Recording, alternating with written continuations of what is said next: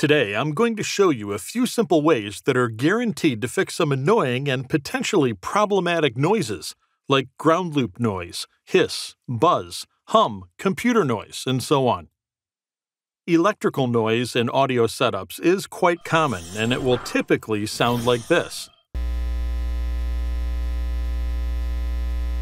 Or this. Or this.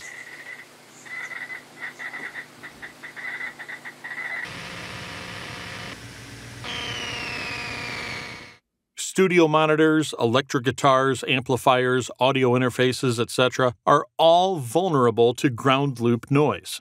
So, what exactly is ground loop noise? Well, it usually occurs when you have multiple devices linked together through signal cables and plugged into different power outlets, which induces multiple grounding points. Fortunately, there are ways to deal with this. Devices like these will usually take care of the problem once and for all, and I'll talk more about that in a bit.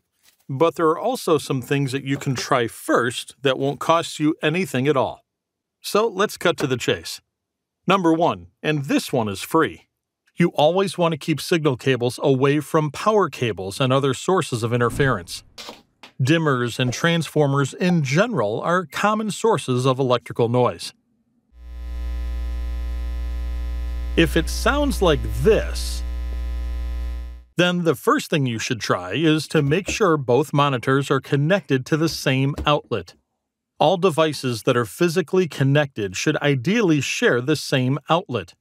However, if they already are and you still have issues, then try plugging one of your monitors into a different power outlet. Oftentimes, just switching outlets will cure the problem. Number 2. Signal cables, filters, and isolators. The most common reason for studio monitor noise problems are the signal cables themselves.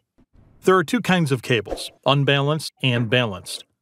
Unbalanced cables are cheaper, but they are also more likely to pick up noise.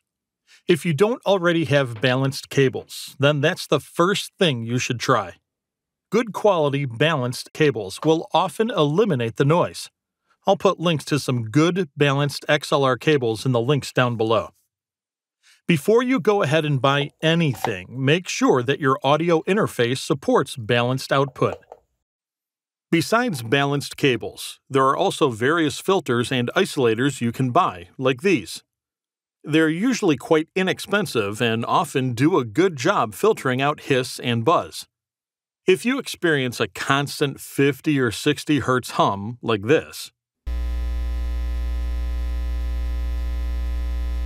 it might be a ground loop issue.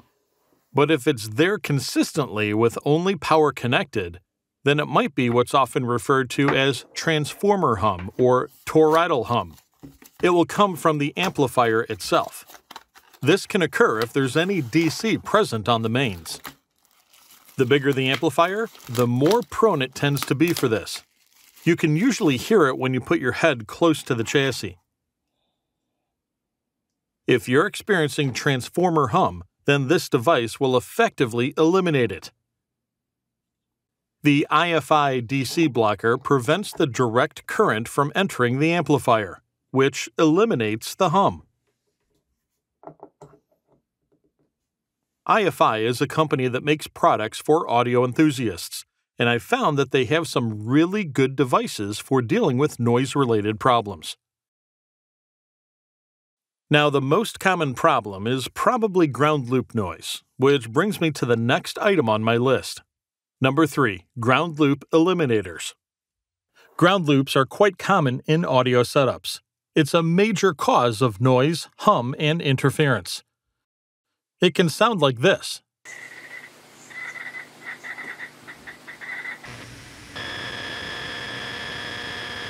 Or this.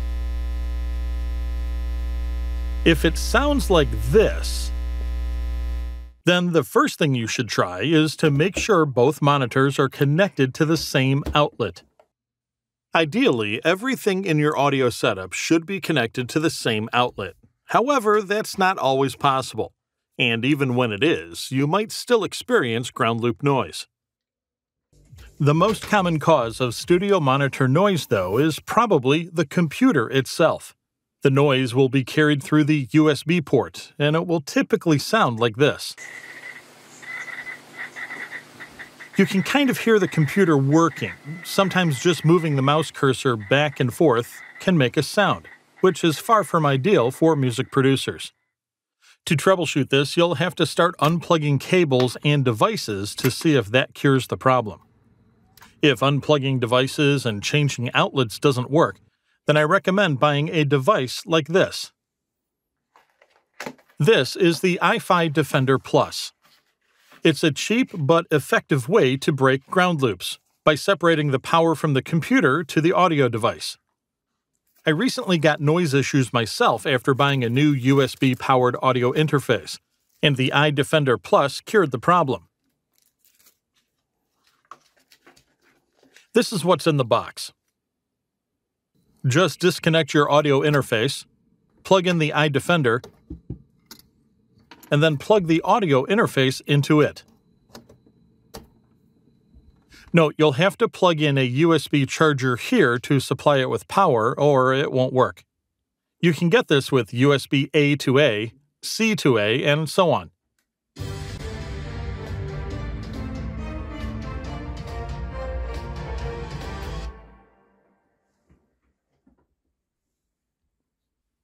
As you can hear, the noise that I had is now completely gone. This is a cheap and simple way of eliminating computer noise from studio monitors. I'll put the Amazon link to the iDefender Plus in the description below so that you can check it out. I can see from the Amazon reviews that it didn't work for some people. In those cases, the issue was likely located elsewhere in their setup. This will only work if you actually have a ground loop issue related to your computer. One sure way to get rid of ground loop noise is to use another iFi device like this. This is the GND Defender. It will intelligently break any DC ground loop, like hum, computer noise, etc. You might need more than one, though, for example, one for each studio monitor. This is a smart device, so your safety is preserved, unlike some of those ground lifts, which can be a death trap. I've seen musicians removing grounding pins or taping over them to break the ground, and I strongly advise against that. The grounding is there for a reason. If there's a fault in your electrical system and you've disabled the grounding pin, then it could lead to a fire. You won't run that risk with one of these. Here's a good example of what it can do. Here I have a pair of powered studio monitors connected to a FireWire audio interface, which is connected to my computer. There's an annoying computer noise consistently in the background. I can hear it when I'm moving the mouse cursor and whenever the hard drive is working. I'm not sure how well the microphone will pick this up, but I'll remove the signal cable and make contact with the chassis itself, then it should be much more audible. There you go. This used to drive me nuts. So let's power off the computer and plug in the GND Defender.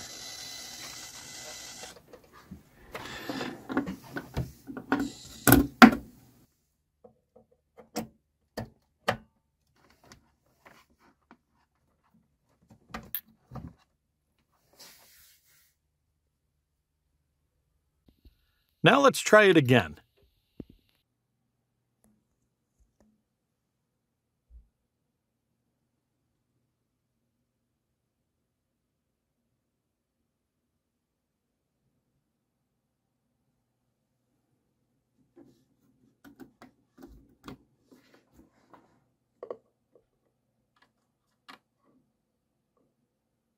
And there you go silence.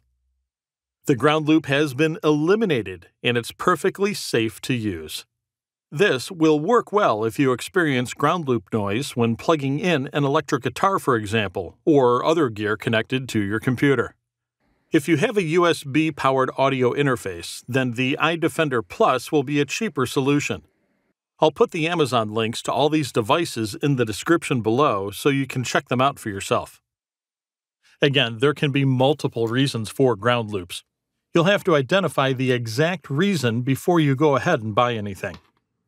I should point out that in some cases the noise might actually be caused by faulty equipment too. So again, you'll have to do some troubleshooting to figure out exactly what's causing it.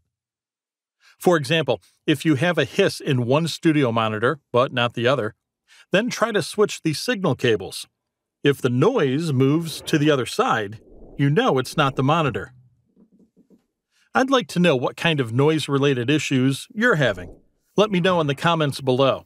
It would be interesting to see what's most common.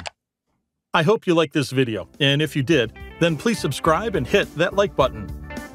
Want to support this channel? Keep your money. Share this video.